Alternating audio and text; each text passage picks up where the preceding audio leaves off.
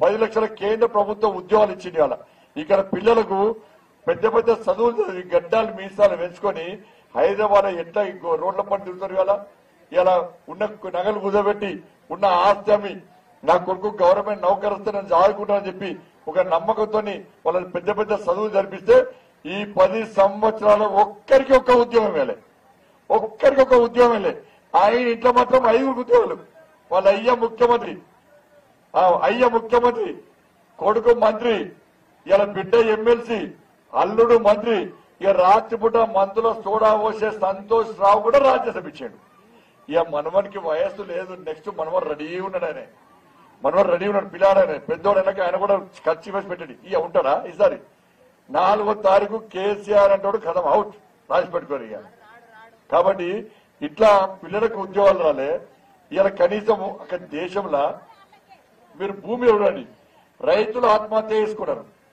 ఉద్యోగాలు రాను ఆత్మహత్య చేసుకున్నారు. అప్పులను ఆత్మహత్య చేసుకున్నారు. కానీ చిన్న పిల్లలు ఇంటర్మీడియట్ పిల్లలు పసి పిల్లలు ఎక్కడైనా ఆత్మహత్య చేసుకున్నారాక ఇక్కడ ఆత్మహత్య చేసుకున్నారు తెలంగాణలో. దాదాపు ఇరవై ముప్పై మంది చిన్న పిల్లలు ఈ కేసీఆర్ నిర్వాహకం వల్ల ఆత్మహత్య చేసుకున్నారు.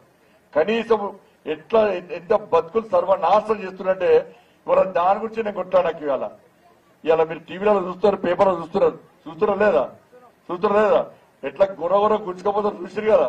మా అక్కతో ఎంత సంతోషపడుతుంది నాకు గుంచుకపోతే పోలీసులు కొడుతున్నారు చూసిరు కదా? టీఆర్ఎస్ వాళ్ళు రావడంతో కొట్టి చూసిరు కదా? ఇవాళ నా మీద ఎన్ని కేసులు తెలుసా? అక్కడ మీద ఎన్ని కేసులు తెలుసా? ఒక్కటి కాదు రెండు కాదు పది కాదు ఇరవై కాదు. డెబ్బై నాలుగు కేసులు పెట్టిండు నా మీద కేసీఆర్ గంగుల కమలాకర్ కలిసి. డెబ్బై నాలుగు కేసులు పెడితే నేను ఎట్లా బతకాలో ఒక్కసారి మీరు ఆలోచించండి. నేను గమ్ముల కమలాకర్ భూముల కబ్జా కేసులు నా మీద లేవు. కాంగ్రెస్ పార్టీ అంటే కొత్తగా వచ్చిండు.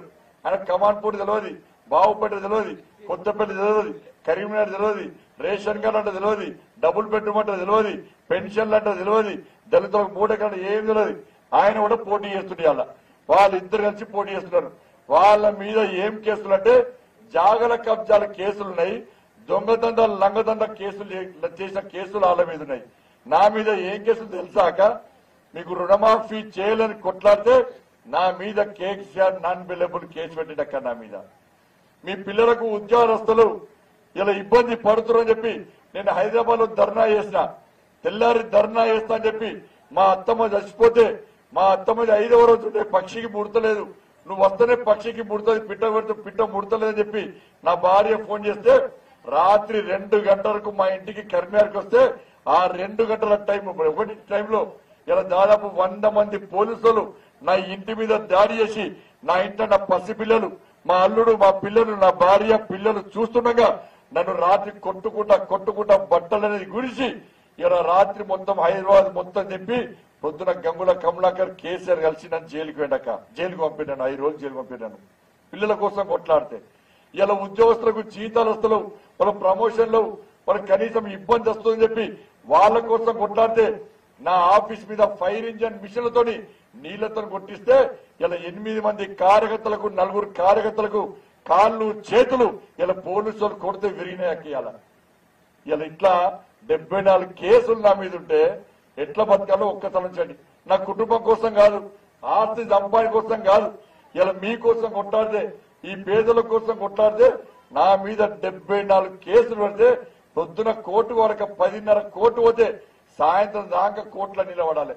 డెబ్బై నాలుగు సార్లు ఆ సంవత్సరాన్ని పోతే ఎట్లా బతకాలి మనిషి? ఒక్కసారి ఆలోచించండి మీకోసం కొట్లాడితే ఇవాళ నాకు కేసీఆర్ కమలాకర్ ఇచ్చిన గిఫ్ట్ ఏదంటే డెబ్బై నాలుగు కేసులు.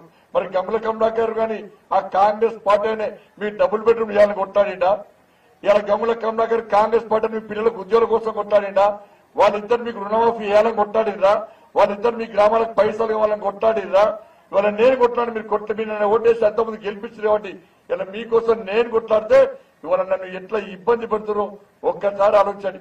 ఇలా మీలక భార్య పిల్లలు నాకు ఉన్నారు. మీలక కుటుంబ సభ్యులు నాకు కూడా ఉన్నారు. మీరు సినిమాలో పోతారు మీరు హోటల్లో పోతారు మీరు ఫంక్షన్లో పోతారు. కానీ ఏ రోజు కూడా నా భార్య పిల్లతో సినిమా పోయే పరిస్థితి లేదు. నా భార్య పిల్లతో ఫంక్షన్లు పోయే పరిస్థితి లేదు. నా భార్య పిల్లతో హోటల్ పోయే పరిస్థితి లేదు.